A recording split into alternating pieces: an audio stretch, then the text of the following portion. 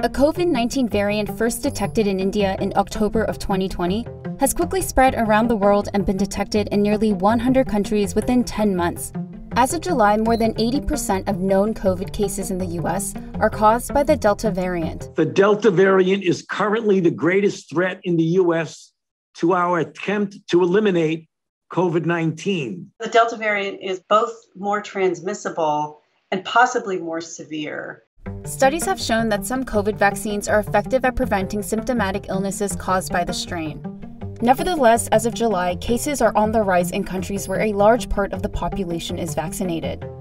Even countries that had been previously spared from the pandemic are now battling a ferocious wave of infections.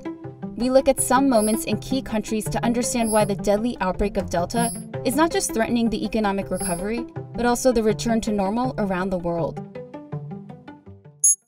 First, we go back to October of 2020. Health authorities say the Delta variant was first detected here, in the state of Maharashtra in India. By the spring, the number of cases in India began ticking up. Then from March to May, infections jumped 20 fold, plunging the country in disarray. It ripped through the country. Thousands and thousands of new infections every day. Hospitals were completely overwhelmed and they were running out of oxygen for patients who needed help breathing. संक्रमण अभी गांव में भी तेजी से पहुंच रहा है Public health experts blamed India's deadly wave on several factors. There were political rallies for state elections that drew large crowds.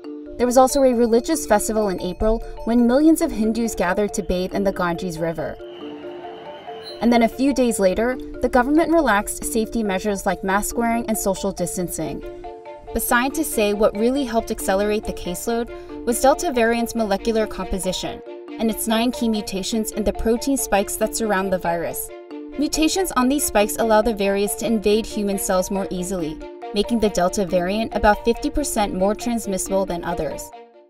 By June 1st, the variant wasn't only in India, but detected in more than 60 countries. And the United Kingdom was one of the first Western countries to see an alarming increase in cases, as Delta became the dominant strain. We're seeing cases growing by about 64% per week, and in the worst affected areas, it's doubling every week. What surprised public health officials was that around 75% of the adult British population had already received at least one dose of a vaccine, and about 50% was fully vaccinated.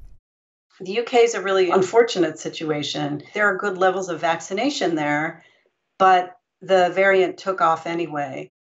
And that was partly because vaccines were reacting differently to Delta than they had to earlier strains. By mid June, studies showed that one dose of some vaccines was 17% less effective at preventing symptomatic illnesses caused by Delta, but two doses provided good protection. The more the Delta variant is allowed to spread, um, the greater the risk of mutations which would evade the vaccines or evade treatments. And we'd kind of be almost be back to the beginning. By late June, Delta was detected in countries that had been slower to vaccinate, in part because they had been spared the brunt of the pandemic, and cases began rising in these places. Australia and Thailand imposed lockdowns. Even Japan decided to ban spectators at the Olympics because of a new wave of infections. There are many, many, many countries that don't have access to vaccine yet. Not many people in the population are vaccinated. And this is the huge concern about this variant that is just going to rip through these countries.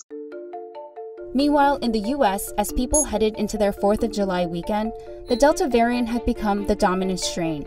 People were traveling again, and many stopped wearing masks after the CDC said it wasn't necessary for those who were fully vaccinated. The variant has mostly spread to areas where vaccination rates have been slow. In some parts of the country, like in Los Angeles, authorities have asked people to wear masks in indoor public places regardless of vaccination status. But some public health experts say the appetite for another lockdown is low it's difficult to ask people to once again adopt these measures. The message is everybody needs to get vaccinated. So on July 4th, Biden urged people to do just that, as the administration planned to make it easier for people to get their shots, like sending more mobile clinics to festivals and sporting events. While the virus hasn't been vanquished, we know this it no longer controls our lives, it no longer paralyzes our nation, and it's within our power to make sure it never does again.